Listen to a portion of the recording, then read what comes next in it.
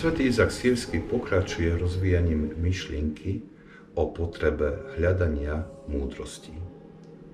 V odpovedi na ďalšiu otázku ozrejmuje, čo svätí otcovia skutočne chápu pod múdrosťou. Jeho učeník sa pýta, pokiaľ sa má namáhať človek, ktorý usiluje o múdrosť, a kedy je čas učenia naplnený?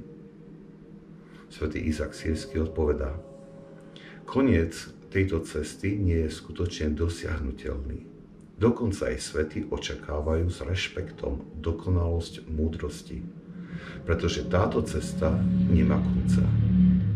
Múdrosť rastie, kým nesjednotí človeka s Bohom, ktorý ju nasleduje.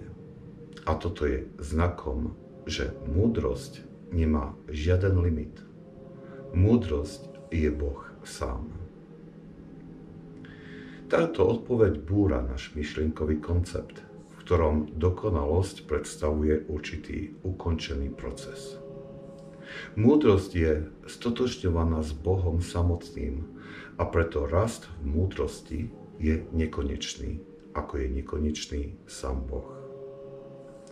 Rast múdrosti je teda teozis, zboštenie, ktoré nemá konca. Viacerí svety o tomto procese hovoria, že ide o kráčanie od úžasu k väčšiemu úžasu.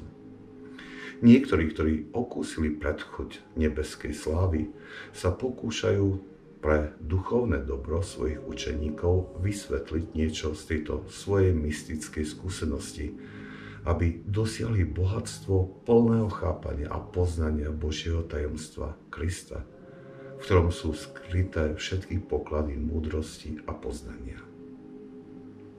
Upozorňujú však na nedostatočnosť ľudského jazyka vyjadriť tieto skutočnosti. Ich úžas by však mal byť pre nás dostatočným pospudením k začiatku tejto cesty.